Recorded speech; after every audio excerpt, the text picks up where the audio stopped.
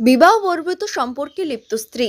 স্ত্রীর প্রেমিকের বুকে চাকু চালালো স্বামী। হাসপাতালে নিয়ে যাবার পথে মৃত্যু প্রেমিকের। খুনের ঘটনায় চাঞ্চল্য মালদর হরিশ্চন্দ্রপুরে। পুলিশ সূত্রে জানা গেছে, দুই মাস আগে কৃষ্ণবোধ সাহা স্ত্রী সাগরিকা সাহাকে নিয়ে পালিয়ে গিয়েছিল গোবিন্দ প্রামাণিক, বয়স তিরিশ বছর।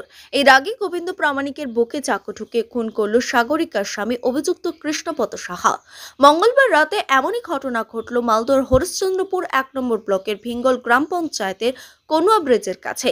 ওই সময় গোবিন্দ প্রামাণিক চাঁচলে যাচ্ছিলেন। পুলিশ জানিয়েছে, গুরুতর জখম গোবিন্দ প্রামাণিককে চাঁচল সুপার স্পেশালিটি হাসপাতালে নিয়ে যাওয়ার পথে মৃত্যু হয় গোবিন্দ প্রামাণিকের। গোটা ঘটনা ঘিরে এলাকায় চাঞ্চল্যের সৃষ্টি হয়েছে।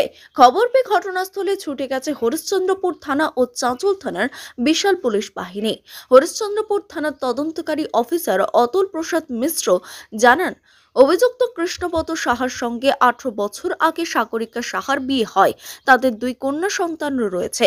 সাংসারিক অশান্তির জেরে সাগরিকা তার স্বামী কৃষ্ণপত সাহাকে ছেড়ে গ্রামেরই এক যুবক গোবিন্দ প্রামাণিকের সঙ্গে পালিয়ে যান।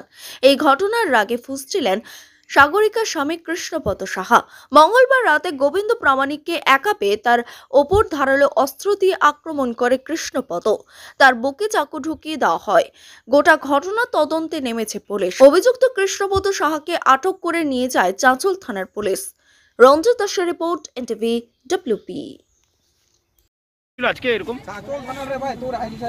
ভবানীপুরের গোবিন্দ মণ্ডল এই ব্রিজে বসেছিল। তাদের ফ্যামিলিগত একটা কিছু আক্রোশ আছে। আর কৃষ্ণ সাহা ওকে চাকু মারে বুকে।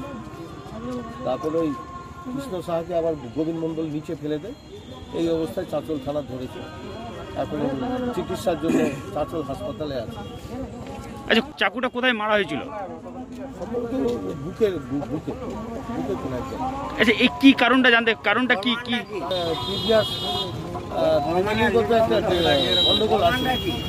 এইভাবে চাকু মারা হলো? তাদের ফ্যামিলিগত প্রিভিয়াস একটা ডিসপুট আছে।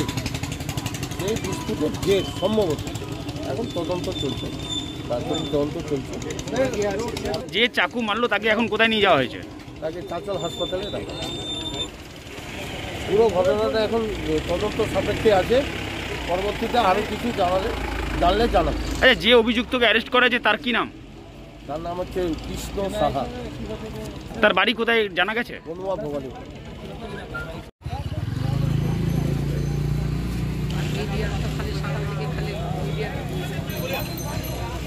মিডিয়ার তো